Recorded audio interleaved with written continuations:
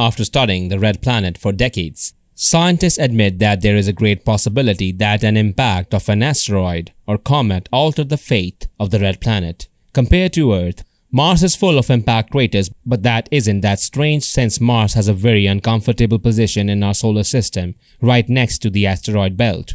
Because of this, Mars is constantly being bombarded by asteroids. Unlike Earth, Mars does not have a bigger moon to shield it against incoming asteroids. Looking back, in history we know that the Earth has been impacted in the past by large space rocks and some of those impacts have possibly changed the history of our planet. One of the best examples we know of is the Chicxulub impact crater located at the Yucatan Peninsula in Mexico, which some scientists believe to have been the number one reason for the extinction of the dinosaurs. So if this happened here on Earth, would something similar be possible on Mars? On the red planet, we find a very interesting impact crater located in the light region and it is approx 125 miles in diameter. The area of the impact crater tells us just how powerful the impact was and it could have been one of the main causes why Mars today is just a desert. This comet strike may have caused a profound disruption to Mars' planetary system. It would have been an absolutely devastating planet climate changing event. So it is possible that long before losing its atmosphere, Mars sustained life. Even civilizations that once called the red planet home if so, where did the Martians go? Did they survive? Did they escape before these cataclysmic events? And is Mars connected in any way to Earth? These are just some of the questions that are desperately want to be answered. On July 20, 1976, after a 10-month journey from Earth, Viking 1 reached its destination, the Red Planet. The images that Viking 1 sent back to Earth were amazing and some of them showed that Mars was not that different from Earth. Some regions on Mars resemble places on Earth, like the Death Valley. Where the story about Viking 1 gets interesting is after it performed several tests in search for life on the Red Planet, Viking 1 returned controversial results. Dr. Gil Levin designed one of the tests that the Viking probe performed, a relatively simple test. He explained that microorganisms breathe just like you, or I, or anything else, and then they give off carbon dioxide.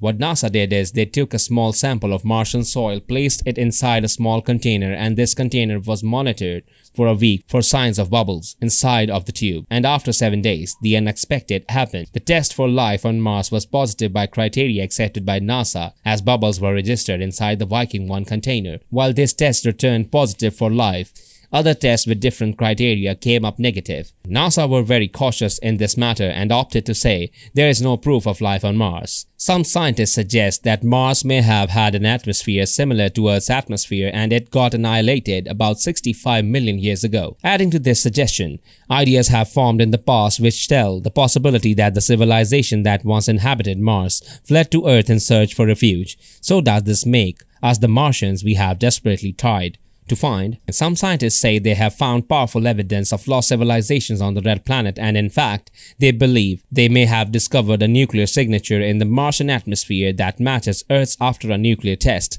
According to scientists, there are many large traces of xenon-129 on Mars and the only process that we know that produces xenon-129 is a nuclear explosion. Is this just another coincidence that shows how similar Mars is to Earth, or does it provide evidence that Mars was very different in the past? Humanity appeared on Mars and then moved to Earth. Not so long ago, American astrophysicist Neil deGrasse Tyson published a picture taken by a Martian reconnaissance helicopter it shows shadows that resemble McDonald's sign. Of course, this is a joke, but as scientists believe there is some truth in it. Moreover, a number of studies indicate that life originally originated on Mars. Is there life on Mars? This question is being asked by astronomers and astronauts who continue their research and missions to the Red Planet. They are all trying to figure out what happened on Mars billions of years ago, and whether people or other creatures lived on it, even if they were microorganisms. You might think this question is out of date, but the controversy over the red planet continues to this day. They arise among space lovers, supporters of unusual theories, and even in scientific circles. Astrophysicists who put forward hypotheses about the existence of life on this planet ask questions.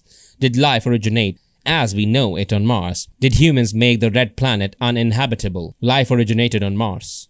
In the film Interstellar by British director Christopher Nolan, it is said that the earth has become uninhabitable. The people have practically no time left to escape. If there is no time for salvation, then why not save humanity as a whole? According to the plot of the film, A certain professor has developed a plan according to which a spaceship with 5,000 frozen human embryos will have to go to a planet suitable for life. But first you need to find it, which is what the main characters do. Could Mars become such a planet based on the scenario of the film, or it is fiction reaching the point of absurdity? Jonathan Lunine, a planetary scientist at Cornell University in New York, called the scientific debate that has been going on for nearly 10 years among astronomers and astronauts as a big dilemma.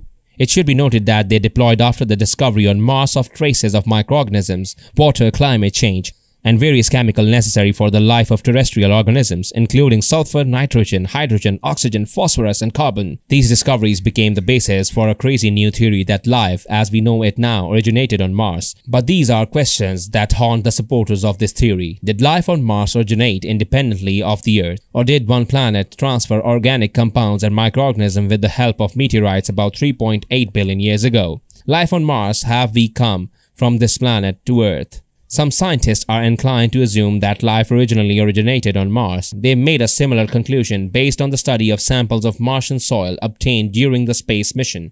According to them, life on Earth appeared thanks to the meteorites from Mars, which were attended by microorganisms. This hypothesis is not so far from the real facts. According to the International Meteorite Collectors Association, IMCA, Martian meteorites have been found not only in Antarctica, but in various areas around the world. About 160 fragments of Martian meteorites could have fallen to Earth millions of years ago, carrying the primary microorganisms that eventually made life on the planet as we know it today. In 2013, the conference In Search of Life on Mars, John Grotzinger, professor of geology at California Institute of Technology in Pasadena, said that science of the life on Mars would help in the study of early life on Earth and answer the question, how did life on our planet originate? Incidentally, the strangest theory is that life originally originated on Mars. Moreover, it was the first home for people, but after its destruction, they began to look for a new planet in space, potentially suitable for life, so people found the Earth, later moving to it. And the theory that Christopher Nolan put forward in the Interstellar has a right to exist.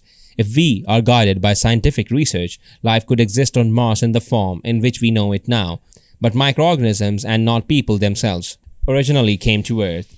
Did humans pollute Mars? In 2021, a new theory emerged. Geneticist Christopher Mason, who said that more than 30 spacecraft have visited Mars since the era of space exploration. What if humans inadvertently transferred primary life forms to Mars?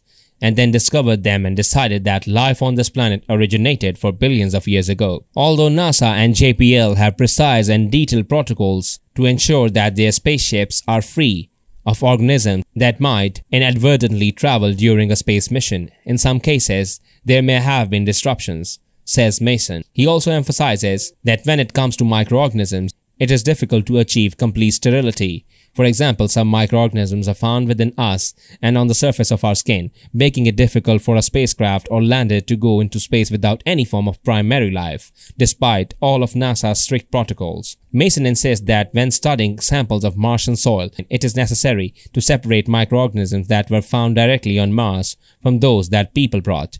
In addition, scientists have confirmed that the Martian crater Jezero was a lake billions of years ago.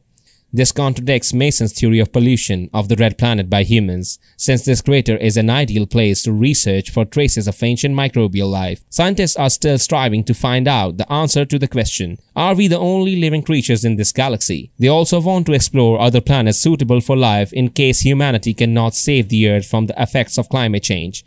But the question that plagues their minds still remains unanswered. Did life really begin on Mars? If so, it means that we were originally Martians and then moved to Earth.